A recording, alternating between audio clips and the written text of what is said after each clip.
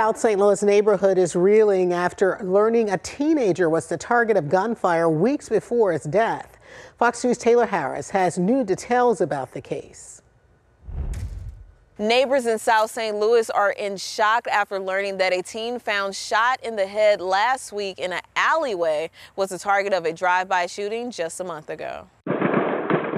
On Pennsylvania Avenue, residents were jolted awake by gunfire, initially mistaking it for fireworks. Video footage captured the car firing at homes, leaving residents in fear and disbelief.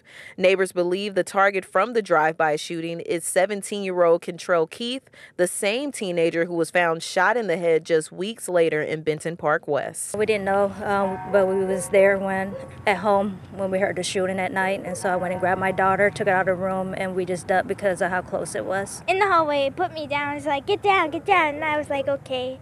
It was scary. Several neighbors were unaware of the tragic incident and were shocked to hear that this happened in their neighborhood. I've been here over 20 years and we've never had the kind of problem that you just told me about of shootings.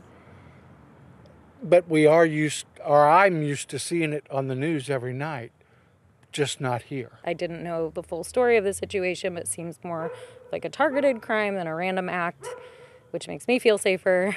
According to St. Louis Metropolitan Police, they responded to a call around 3 a.m. Tuesday about a person down in the 3100 block of Nebraska Avenue. Officers found a male victim in an alley with a gunshot wound to the head and pronounced him dead at the scene. On Friday, the victim was identified as 17-year-old Kentrell Keith. The family of Kentrell Keith has set up a GoFundMe page in order to raise funds for his funeral services. If you would like to support and donate, you can visit our website at fox2now.com. Reporting in South St. Louis, Taylor Harris, Fox 2 News.